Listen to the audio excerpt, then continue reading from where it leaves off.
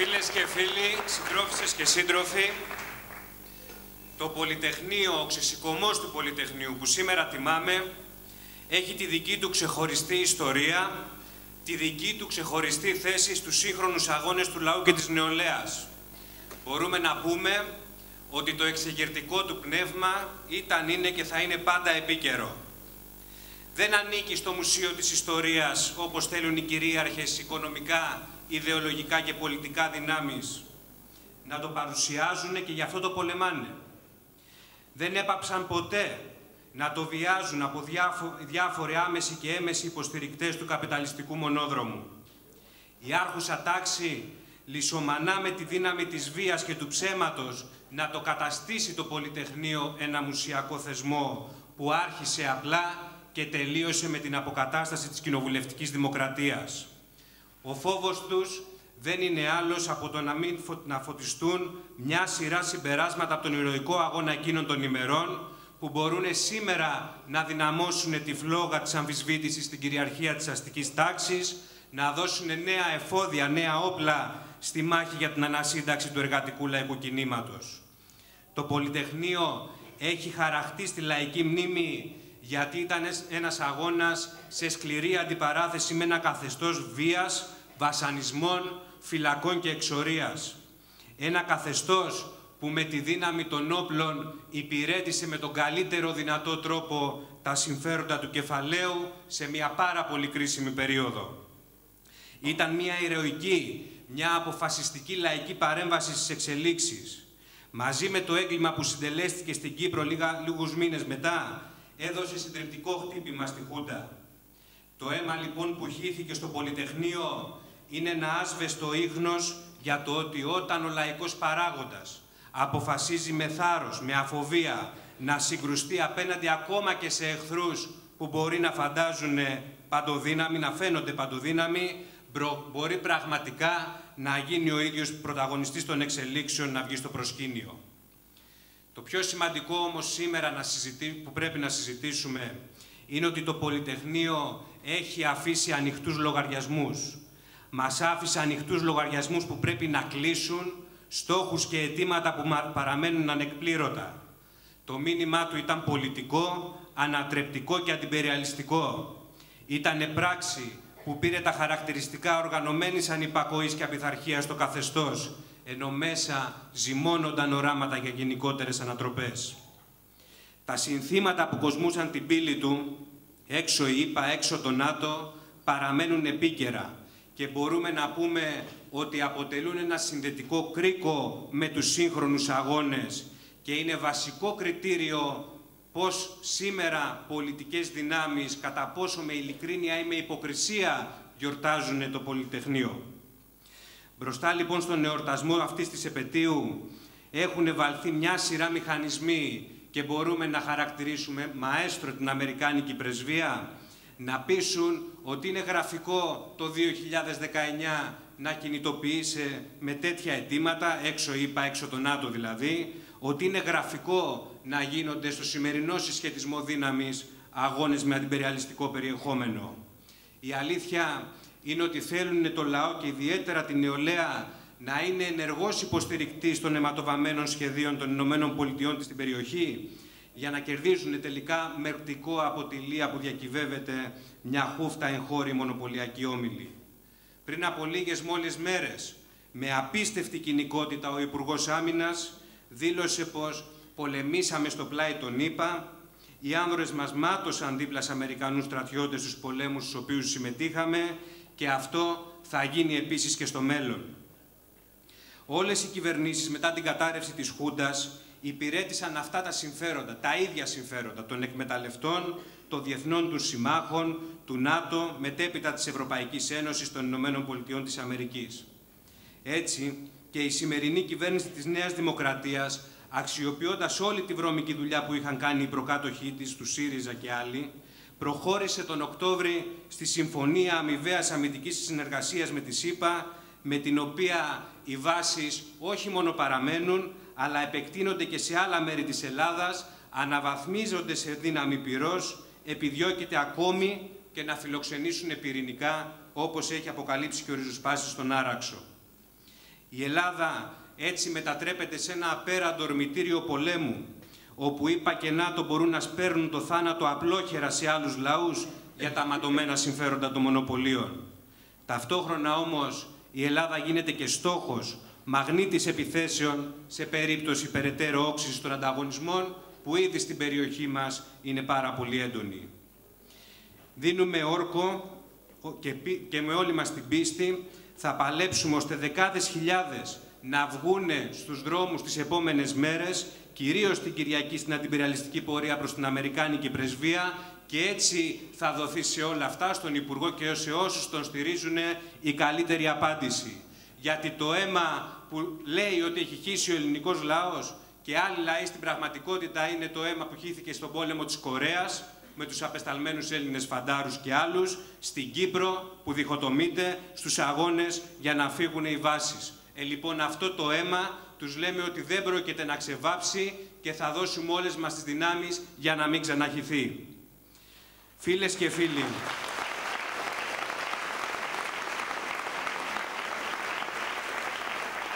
το καθεστώς της δικτατορίας των συνταγματαρχών από την πρώτη μέρα είδε στο πρόσωπο του ΚΚΕ τον πιο μισητό εχθρό του.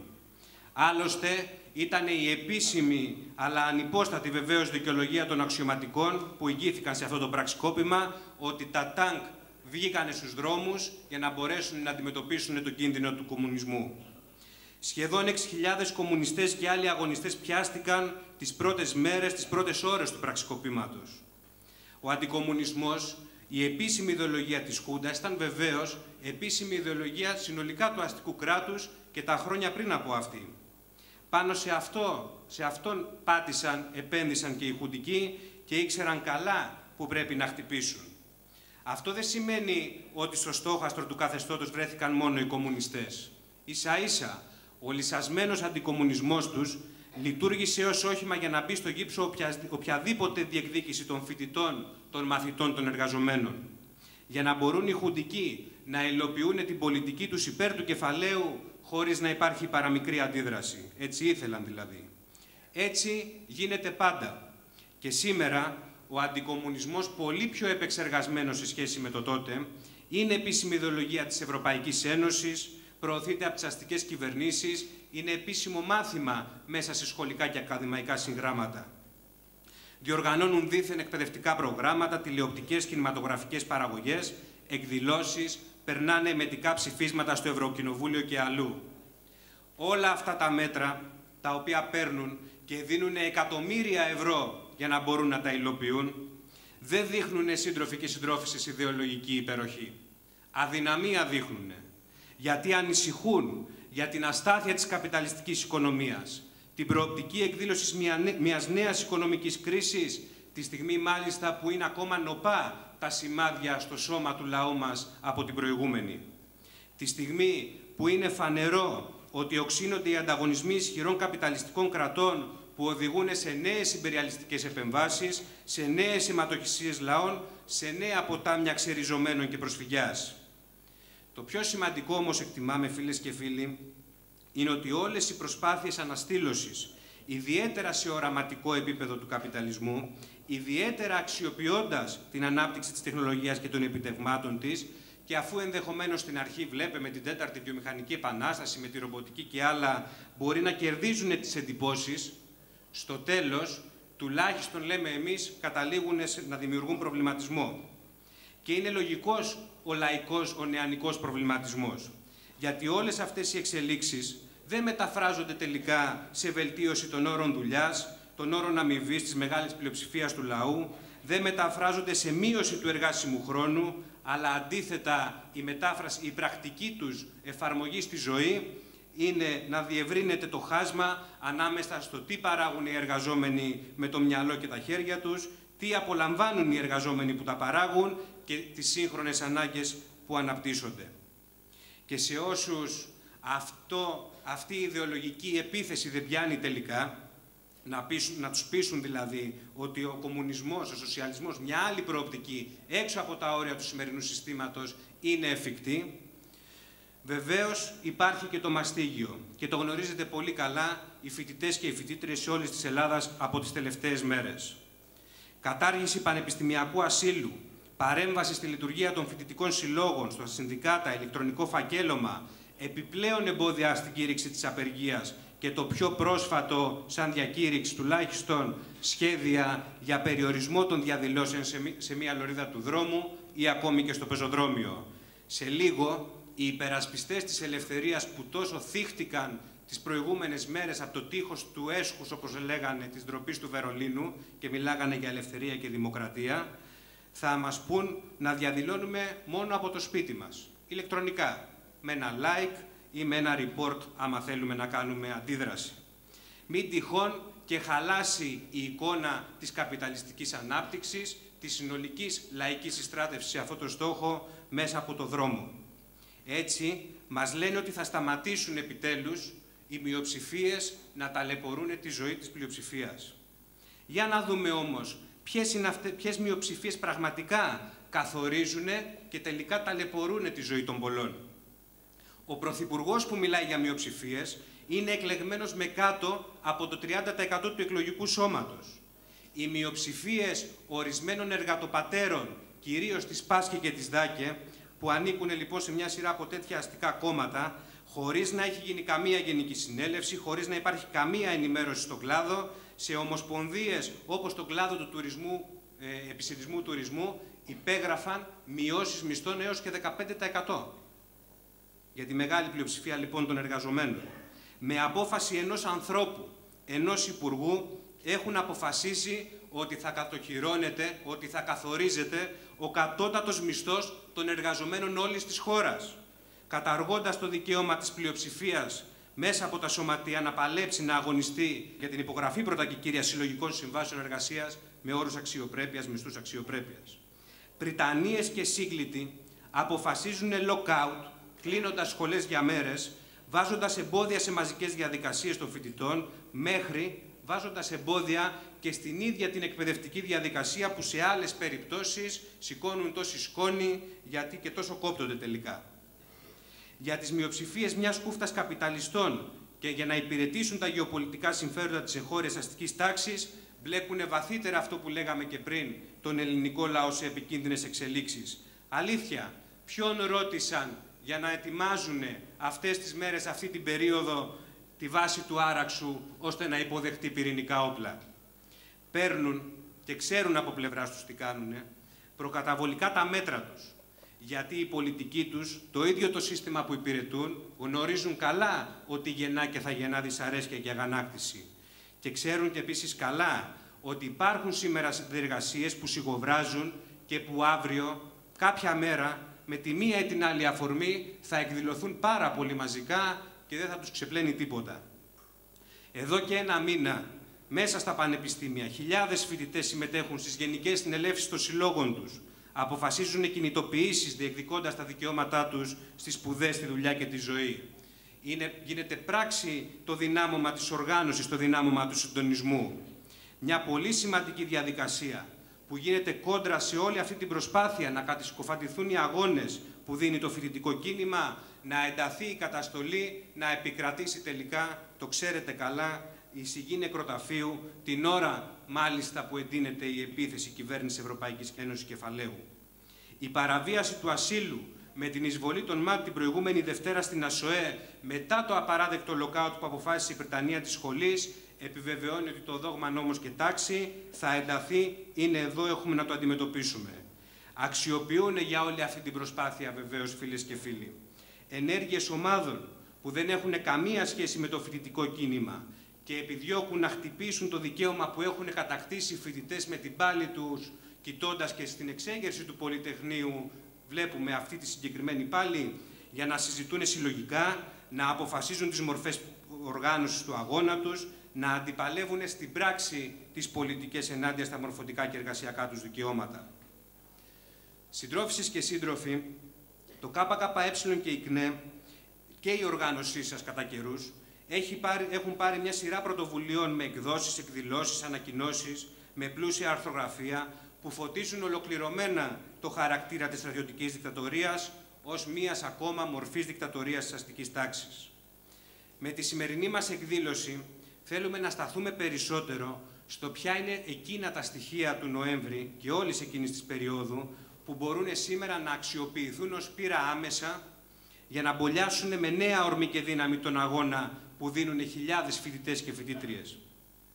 Δεν μπορούμε βεβαίως να μην ξεκινήσουμε ότι καθοριστικό στοιχείο αυτής της πορείας ήταν ο ρόλος που έπαιξε το Κομμουνιστικό Κόμμα Ελλάδας, η ΚΝΕ, που σήκωσαν ψηλά τη σημαία της σύγκρουσης με τη στρατιωτική δικτατορία. Το ΚΚΕ, το 1968, ανασυγκρότησε τις παράνομες οργανώσεις του, ίδρυσε την ΚΝΕ και όλα αυτά έδωσαν πραγματικά πνοή, κουράγιο στο λαό και την πάλη του, πρωτοστάτησε το κόμμα μας και η οργάνωσή μας στον αντιδικτατορικό αγώνα, είχε διαρκή έγνοια για να του δίνει ανατρεπτικό περιεχόμενο. Φαίνεται επίσης από αυτή την πορεία η ανάγκη σε κάθε φάση να δυναμώνουμε την οργάνωση, τη συζήτηση μέσα στις σχολές, στα τμήματα, να διαμορφώνεται τέτοια πλαίσια πάλι, γραμμή πάλι που να βοηθούν στη μαζικοποίηση του κινήματος, στην πολιτικοποίηση του αγώνα, να επιλέγονται οι κατάλληλες μορφές. Το καθεστώς της Χούντας από την αρχή προσπάθησε να χτυπήσει και το φοιτητικό κίνημα, έχοντας διορίσει βαλτούς στα διοικητικά συμβούλια των φοιτητικών συλλόγων, ενώ ανέβαλε συνεχώς τη διενέργεια φοιτητικών εκλογών.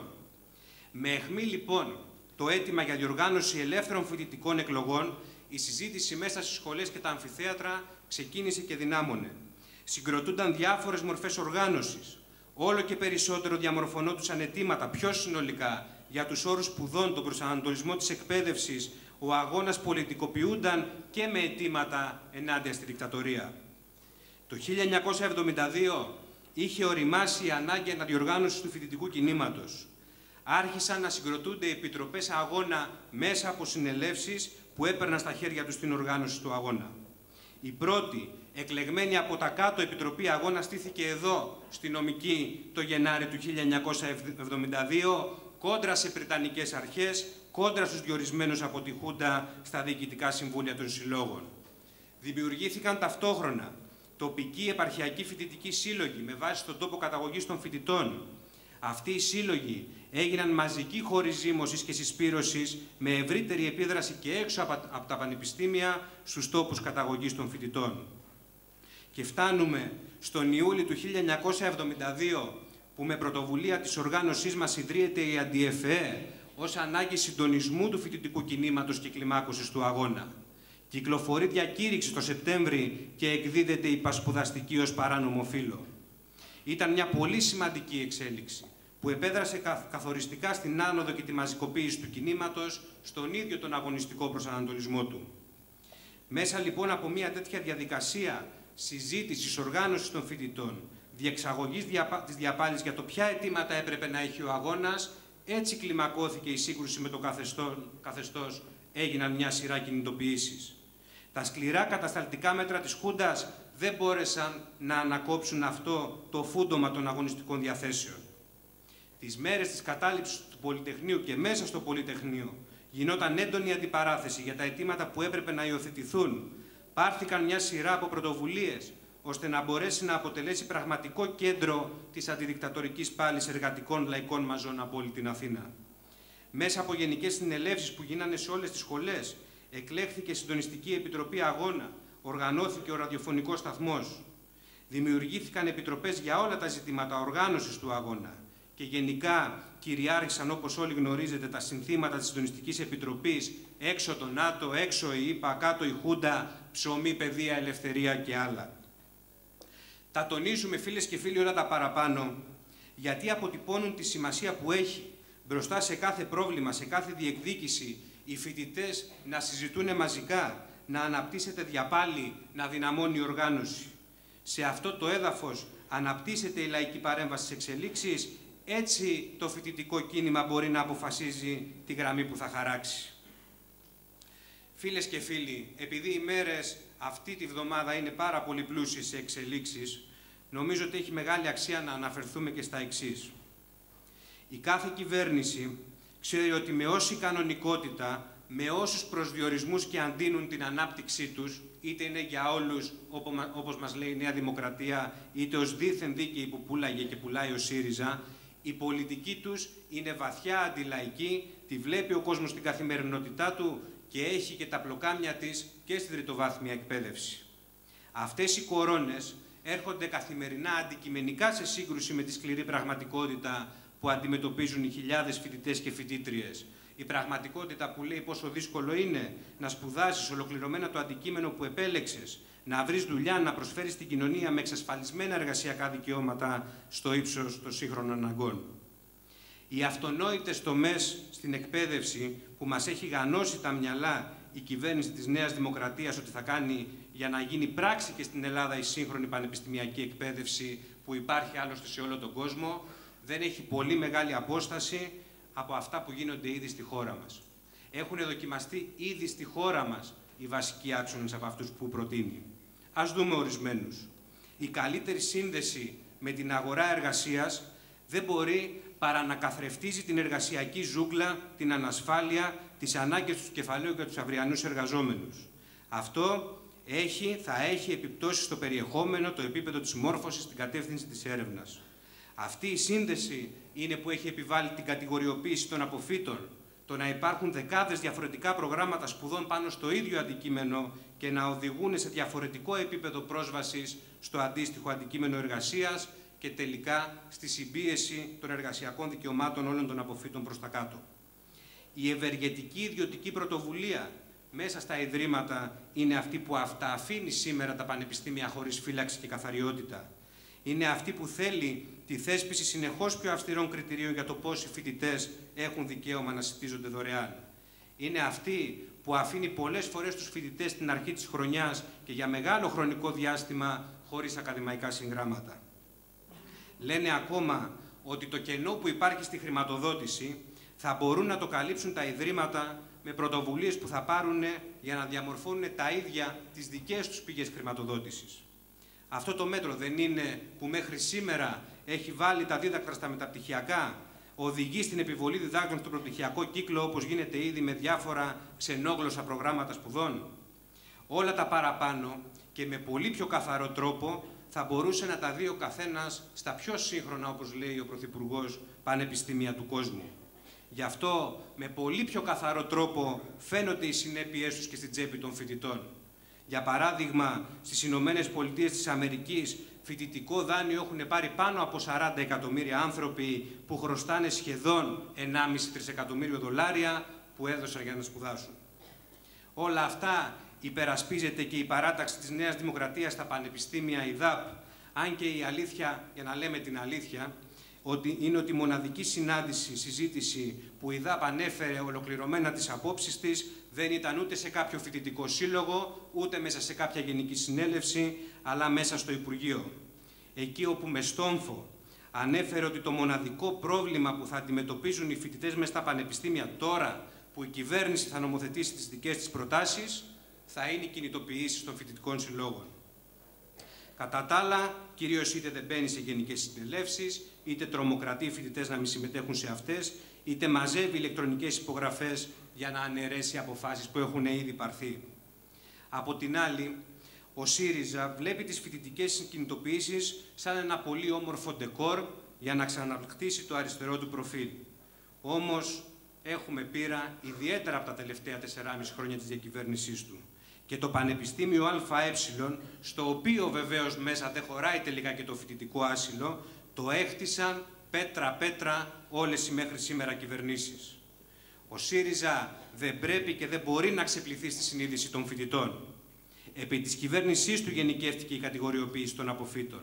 Τα δίδακτρα που λέγαμε και πριν στα μεταπτυχιακά εξαφανίστηκαν σε μία νύχτα τα αποθεματικά των ταμείων, κρατήθηκε καθυλωμένη η, η μειωμένη κρατική χρηματοδότηση, άνοιξε το δρόμο για την κατάργηση του ασύλου με το πόρισμα Παρασκευόπουλου.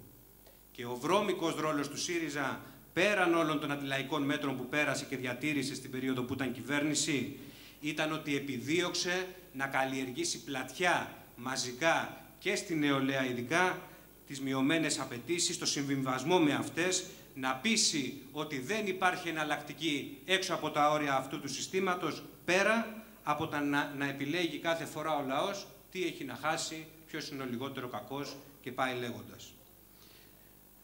Κατάφερε, μπορούμε να πούμε εν κατακλείδη, να στρώσει το δρόμο στη Νέα Δημοκρατία ώστε να βγαίνει σήμερα στα κάγκελα και να ζητοκραυγάζει ότι αυτό που έχει αποδειχτεί πλέον περίτρανα, αφού τα ζήσαμε όλα και την κυβέρνηση υποτίθεται της αριστεράς, είναι ότι όλοι πρέπει να δουλέψουμε για να ταυτιστεί το συμφέρον των εργαζομένων με το συμφέρον των αφεντικών τους. Από αυτή την άποψη, ο λαός πρέπει να στηρίζει ενεργά ό,τι συμφέρει το μεγάλο κεφάλαιο, όλο το νομοθετικό πλαίσιο που διαμορφώνεται και να βάζει μέσα τη γλώσσα και να μην μιλάει όταν περικόβονται δικά του δικαιώματα για να κερδίζουν οι λίγοι. Σύντροφοι και συντρόφισσες, το φοιτητικό κίνημα μπορεί και πρέπει να αντλήσει και από την τελευταία περίοδο την πείρα, τα απαραίτητα συμπεράσματα για να αξιοποιήσει τις μάχες του επόμενου διαστήματος, να βάλει εμπόδια στην εφαρμογή μέτρων που έχουν περάσει, να καθυστερήσει άλλα που θα έρθουν, να αποσπάσει κατακτήσεις. Ο αγώνας, το ξέρετε καλά, το παλεύετε, αποκτά μεγαλύτερη αντοχή και διάρκεια όταν εδραιώνεται σε όλο και περισσότερους φοιτητές η πεποίθηση ότι κανένας σωτήρας δεν πρόκειται να σου λύσει τα προβλήματα. Ότι δεν υπάρχει κυβέρνηση που δεν είναι χειρότερη από την προηγούμενη μέσα στα πλαίσια αυτού του συστήματος, γιατί αυτό επιβάλλει η στήριξη της καπιταλιστικής κερδοφορίας με κάθε δυνατό τρόπο. Το να δυναμώνει λοιπόν η οργάνωση, η συσπήρωση που έχει στον πυρήνα της όλα τα παραπάνω, κάνει πιο δυνατή τη διεκδίκηση, κάνει πιο δυνατή την υλοποίηση μπροστά των ονείρων που ο καθένας ξεχωριστά έχει για τη ζωή και το μέλλον του. Και σε αυτή τη διαδικασία, σε αυτή την προσπάθεια πρέπει να ξεχωρίσουμε ότι είναι ελπιδοφόρο ότι την προηγούμενη Κυριακή πραγματοποιήθηκε η 10η Πανελλαδική Συνάντηση του Μετώπου Αγώνας Σπουδαστών, στην οποία συμμετείχαν 68 φοιτητικοί σύλλογοι από όλη την Ελλάδα, οι περισσότεροι από την ίδρυσή της, επιτροπές αγώνα εκλεγμένοι συνδικαλιστές. Και η αύξηση αυτής της εισπύρωσής του όλα τα τελευταία χρόνια είναι ένα μεγάλο βήμα, είναι ένα μεγάλο όπλο στην πορεία ανασύνταξης του φοιτητικού κινήματος.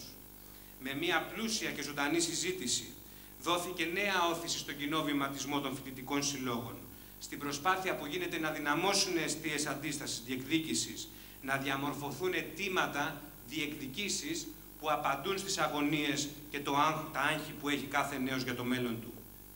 Και είναι, φίλες και φίλοι, η υπόθεση το να κερδίσει έδαφος σε κάθε βήμα εξέλιξης του αγώνα, η γραμμή σύγκρουσης με τις κυβερνήσεις στην Ευρωπαϊκή Ένωση και τα συμφέροντα των μονοπωλιακών ομίλων, τον πραγματικό δηλαδή αντίπαλο που αντιμετωπίζουν ο λαός και η νεολαία, αυτή είναι η καλύτερη απάντηση τόσο σε αυτούς που θέλουν το φοιτητικό κίνημα ενεργό υποστηρικτή της κυβερνητικής πολιτικής, όσο και του ΣΥΡΙΖΑ, που προσπαθεί με θράσος να καπηλευτεί τους αγώνες των φοιτητών όλης αυτής της περίοδου.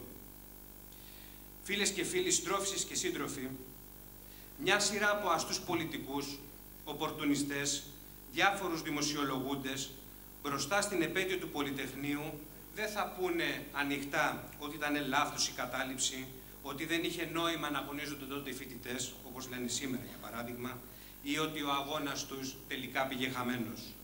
Κρύβουν βέβαια όλοι αυτοί ότι οι πολιτικοί τους πρόγονοι δεν ήθελαν και φοβόντουσαν σαν το διάολο το λιβάνι τη λαϊκή παρέμβαση.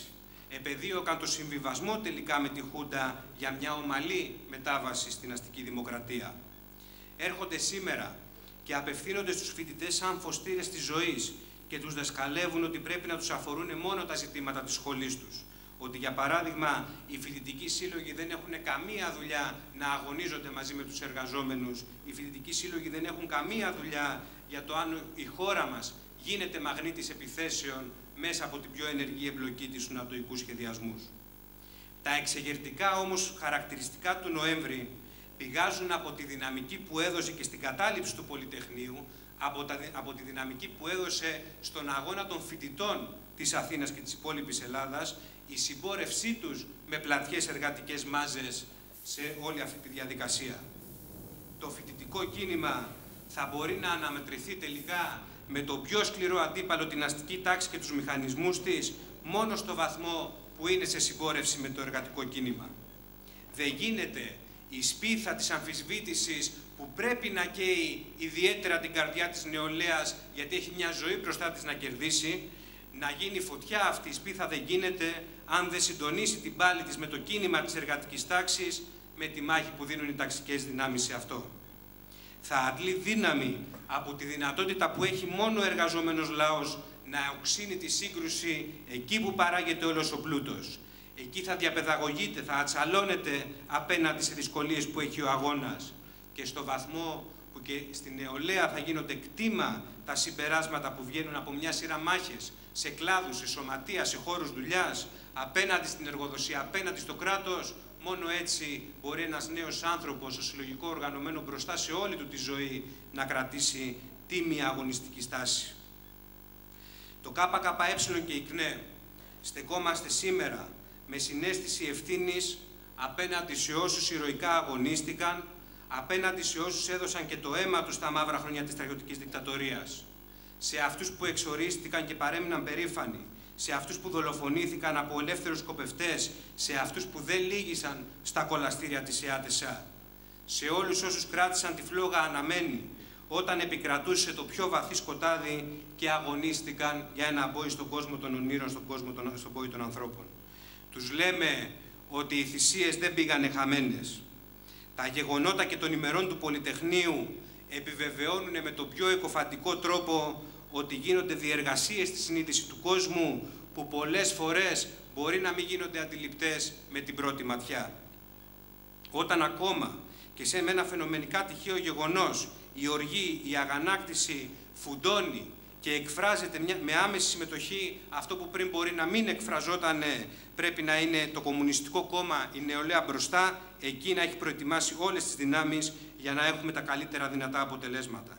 Η έκβαση, η διάρκεια και ο χαρακτήρας που θα έχει η λαϊκή πάλι σε αυτές τις συνθήκες βεβαίως θα εξαρτηθούν από πολλούς παράγοντες. Σημαντικότερος όλων όμως είναι η προετοιμασία και η καθοδήγηση των μαζών από το Κομμουνιστικό Κόμμα και την νεολαία του. Δίνουμε λοιπόν κάθε μέρα το καλύτερό μας σε αυτό στο να δυναμώνει ο ταξικός αγώνας στην Ελλάδα, να πείθονται, να εμπνέονται περισσότεροι νέοι, περισσότερες δυνάμεις με τη γραμμή της οριστικής σύγκρουσης με την προοπτική του σοσιαλισμού. Αυτό είναι και το ύψιστο διεθνιστικό μας καθήκον στους λαούς όλου του κόσμου, που το τελευταίο διάστημα αγωνίζονται, κινητοποιούνται απέναντι σε αντιλαϊκές πολιτικές, απέναντι σε αμερικανόφερτα πραξικοπήματα, αντιμετωπίζοντας σκληρή καταστολή, μετρώντας ήδη δεκάδες νεκρούς, όπως για παράδειγμα στη Χιλή. Δεν είναι όμως παντοδύναμη. Εκφράζουμε και από αυτό εδώ το βήμα την αλληλεγγύη μας στους αγώνες του λαού της Χιλής, του Λιβάνου, της Βενεζουέλας, του Ιράκ, της Βολιβίας.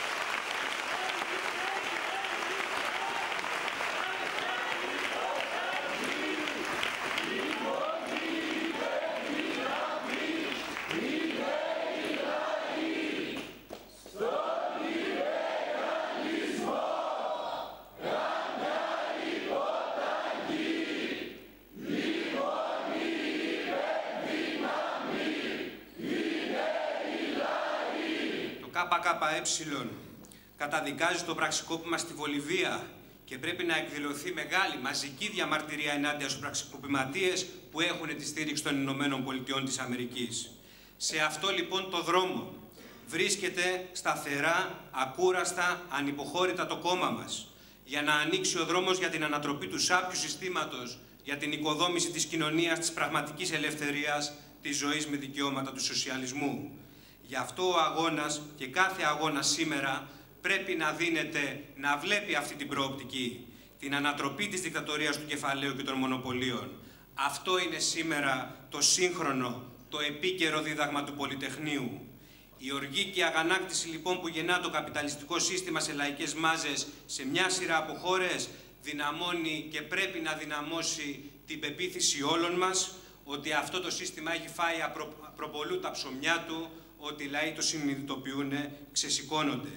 Και είμαστε σίγουροι ότι οι λαοί θα πούν την τελευταία λέξη και αυτή θα είναι παντού και πάντα η κατάργηση της εκμετάλλευσης ανθρώπου από άνθρωπο. Σας ευχαριστώ πολύ. Καλή δύναμη. Αγωνιστικό εορτισμό του Πολυτεχνείου να έχουμε και θα τα πούμε τις επόμενες μέρες κάθε μέρα στον δρόμο.